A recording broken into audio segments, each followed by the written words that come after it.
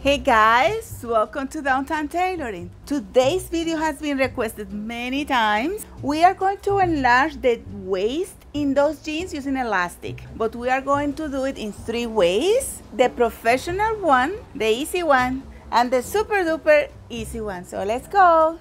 These are the jeans that I'm gonna let out the waist. I will gonna let out around three inches, inch and a half in each side. And I'm gonna show you the three ways in the same jeans. In one side, I will show you the professional way.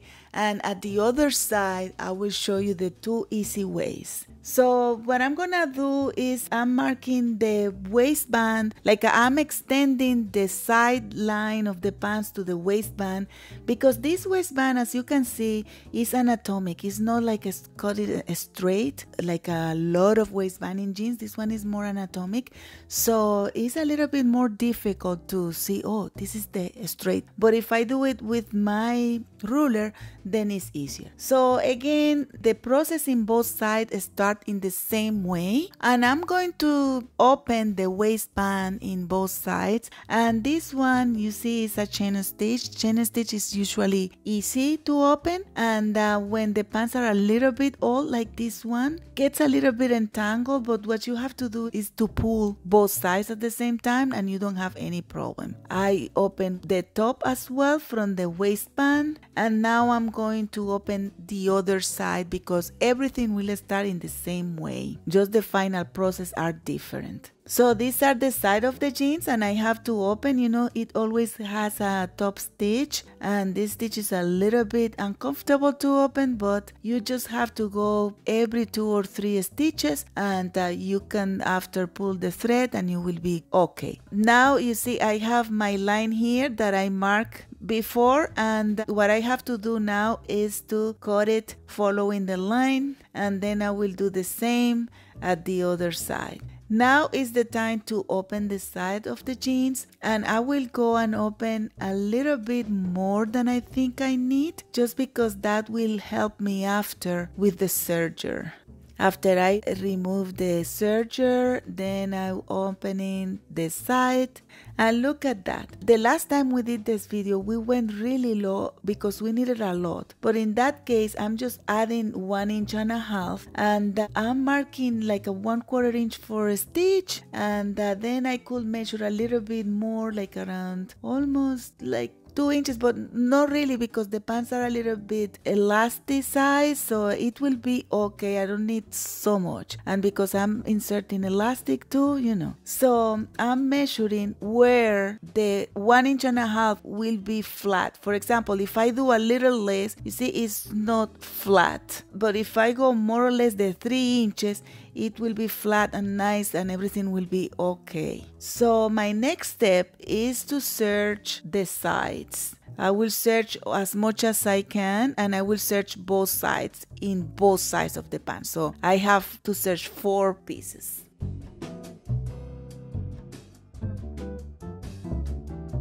Then I will start to prepare the elastic. This elastic is not wide enough. The ideal would be like if you can get an elastic five, six inches wide, maybe seven or eight.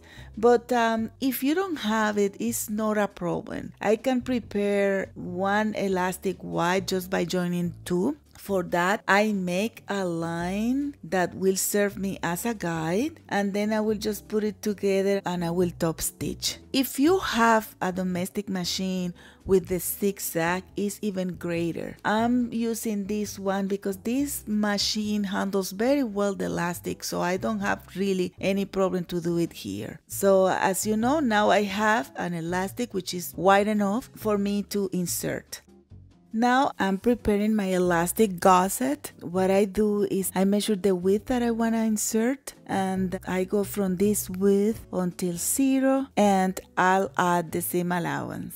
I'm using 3 quarter inch but you can use whatever you want. I think uh, this is uh, big enough so if the pants are still too tight I can easily repair without making another piece but you do it the way you want really. Now I search the piece before I insert it. So now I'm going to insert the piece and for that I have to, you see this is the mark I had.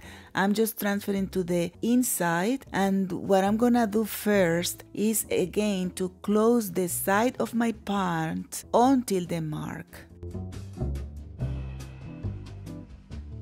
And then now I'm ready to insert the elastic and for that what I'm gonna do I will pin it in the right position. So I will pin seam line with seam line you see, it's not exactly the same seam allowance. And because I have a rivet and I won't be able to sew it well around the rivet, I will change the foot of my machine for a zipper foot. So this is the zipper foot. You see, it has just one side and the other side is free. But this one, mine, is a very special for me because it's really wide and hold very well the other side. So I'm sewing it and I will go to sew just until the other seam start you see? So I have to go very careful and just right in the point I go back and leave my material you see? It looks like it's just one seam all the way but they are two seams the same side and the other. And now what I'm gonna do I will again align the sewing lines together to sew the other part. And as you can see, if you can notice, we have the seam line of the hip and then when I start to sew, I will start to sew with this line. You see, it's just right there in this point. And then I will start I will sew it and um, it looks you see it looks fantastic. This is the easiest way to do it. And if you do it this way you will always remember me. After I will go and do top stitch. The back top stitch I will make it exactly as the way it was before. And the front top stitch just until the rivet now is the turn for the waistband. So here there are two ways. You can get a elastic the same width of the waistband, the whole thin material or just the sewing part you see? So i'm using this one because i think it's better like it's easier and very clean to do. And what i'm gonna do i will check if i can push the material a little bit. Yes i can. It's okay if the material weren't stretched, then you will have to count that you need to take in a little bit more, like a fold a little bit more the upper part. But in my case, I'm okay. And I'm marking what I need one inch and a half in each. And what I'm gonna do I will mark first like a, the little quarter inch for the sewing line in my waistband. I need four of those marks two in each side. And then I'm going to join the sewing lines together and I will sew it. Then I will do the same at the other side again as you see sewing lines together and then I will sew all together. So this is my front part. I will repeat exactly the same in the back part of the waistband and I have the elastic two elastic for my waistband. Now to clean that. How I will clean? I will wrap it up. So I will basically wrap it up like that and like that and I will stitch on top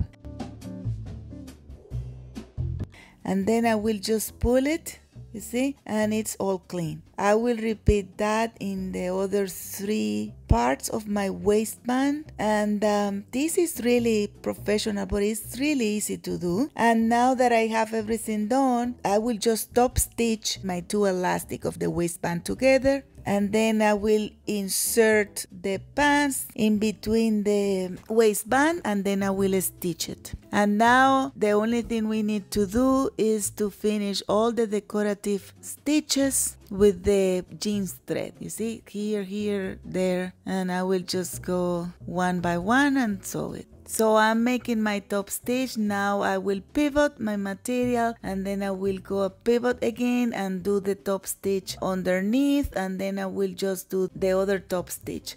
I make sure that everything underneath is tucked in and look at that. It looks fantastic. It's really professional. It's all flat. You see how flat it is and uh, it's not bulky. It's all good So for the other part, I will make the easy and the easiest in the same right. One side the easiest and the other side the easiest. So you know what we have to do. We have to close again to the same point for the elastic and uh, we know that we need around 3 inches but in that case I will add as well waistband so I will prepare exactly the same the waistband is around one inch and a half and then I will go straight one inch and a half down and uh, then the triangle. You see these sharp lines I cannot really sew it. It doesn't look good. In my other side I could. You see you can see the sharp lines because I have two pieces. I have one waistband and then they adding gusset. But in that case, is different. That's why the other side is the professional and this one is not that professional, but it's okay. It will look good. So I soften up the angle to make more or less like a kind of curve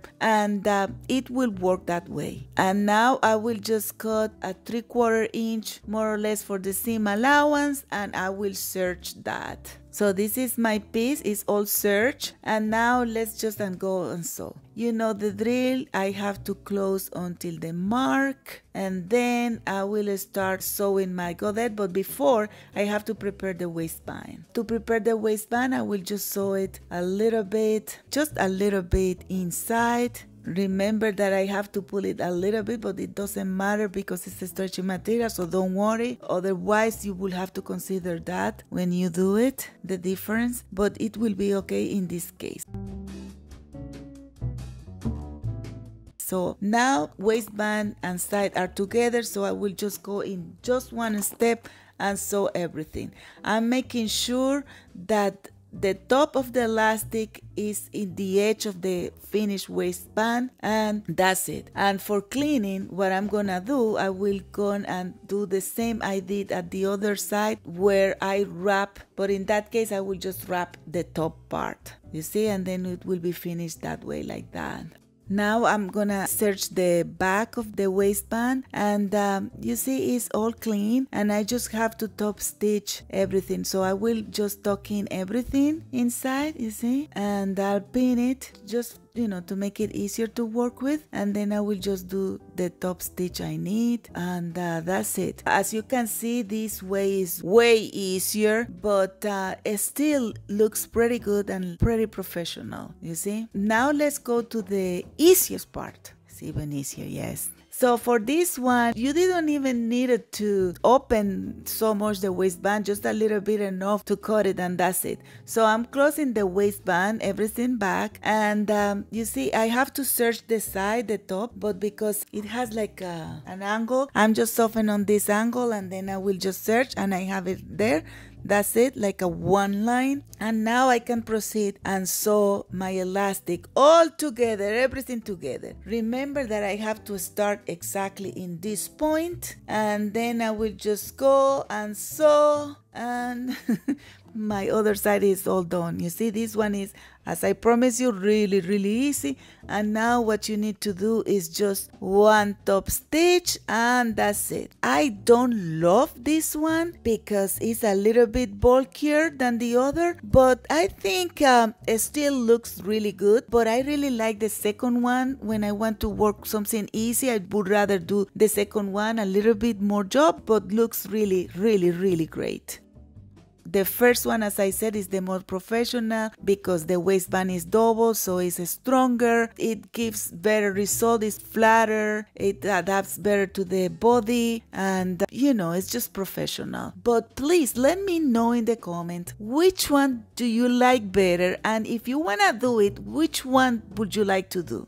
This is the elastic that I would recommend if you want to do with the easiest one, just one elastic that is stronger and nicer. This one is not long enough, but you can get it even 8 inches longer, so I just don't have a long one right now. So guys, that was all for today. I hope that you like this video. Please don't forget to subscribe, share, comment. Thank you. Bye.